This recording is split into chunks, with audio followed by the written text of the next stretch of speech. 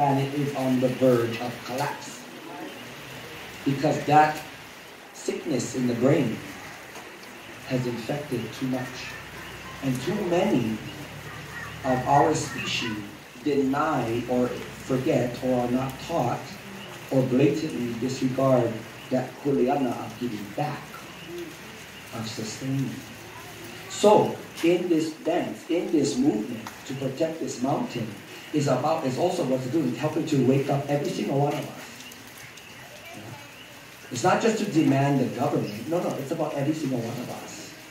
Remembering that uh, it's your job. It's all of our job. That's why we have to kukulu, we have to build together. And part of that, how you remember that is remember that you are sacred.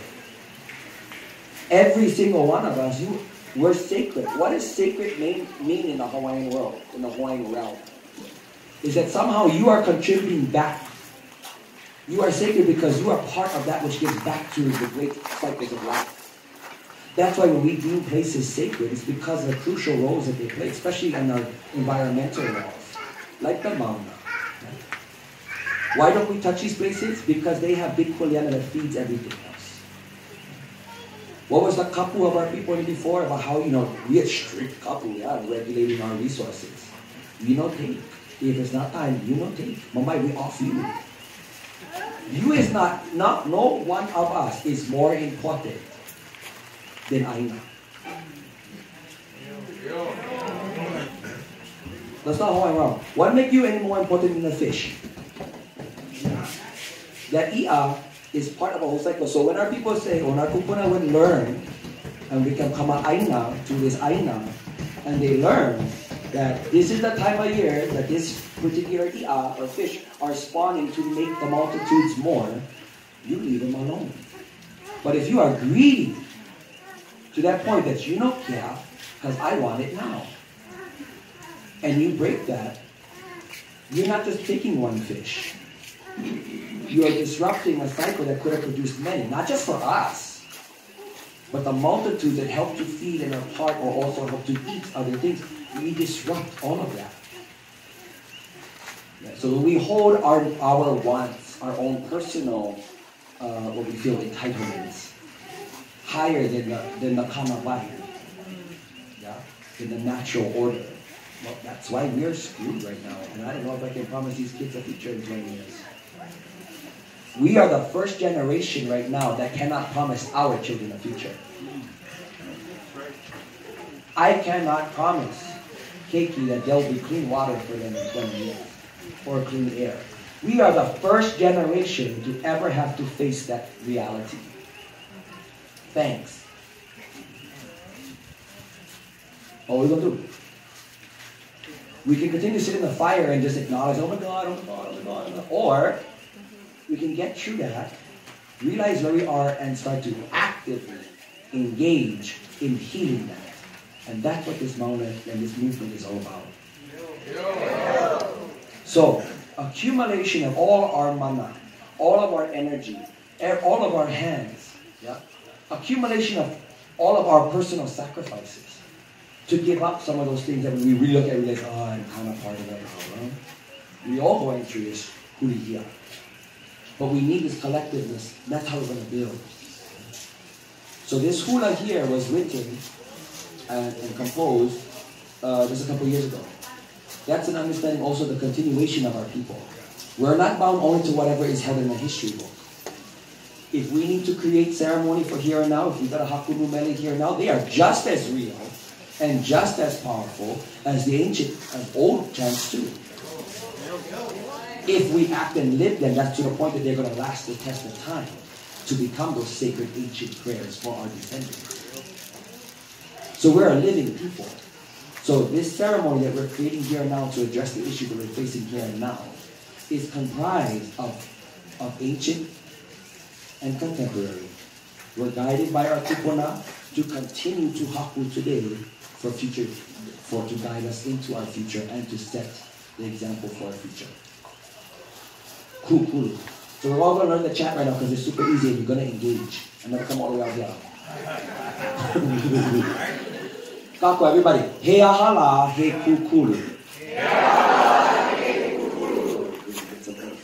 He ahala he kukulu. We are asking the question, what is what is it to kukulu? What is a pillar? What is a pillar? You give you give you're gonna answer yourself. What's a great example of a pillar? He mauna. What? He ahala he kukulu. He mauna. A mountain is a pillar. It helps to hold up all these ecosystems, all these cycles of life. It continues to help to hold up all of existence.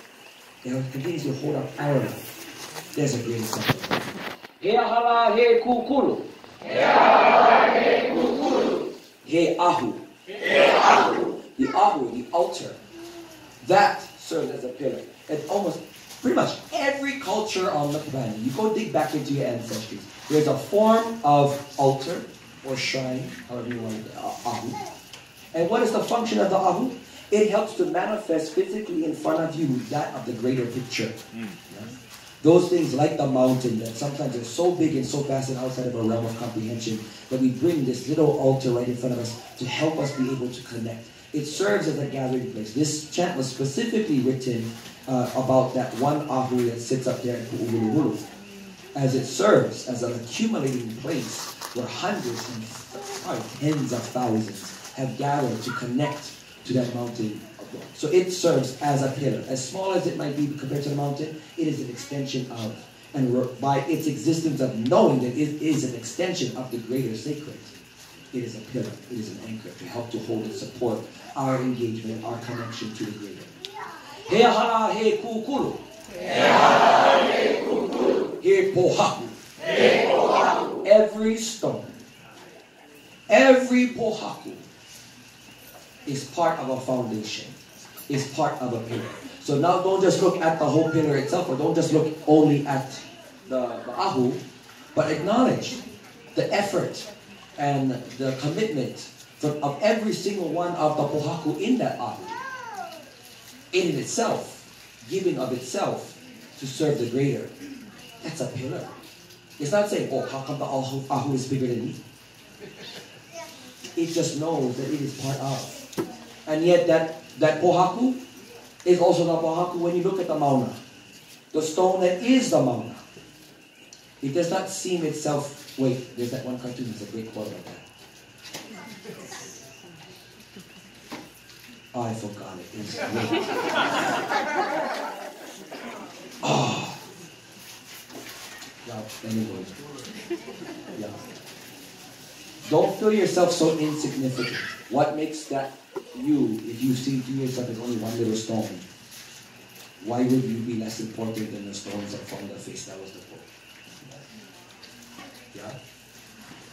So everybody just knowing that they're part of it, you're a pillar. And reminding us, He hara he kukulu. He kanaka. Every single one of us, kanaka. You are a pillar. Don't forget that.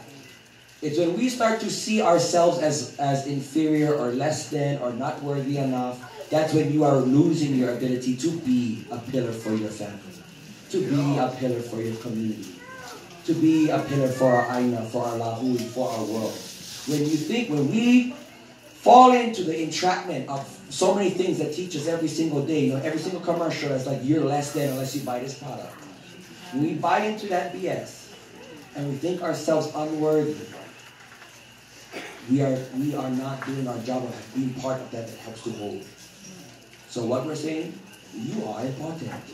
I am of no more importance than those up there watching the crosswalk on the mountain. We just have different function.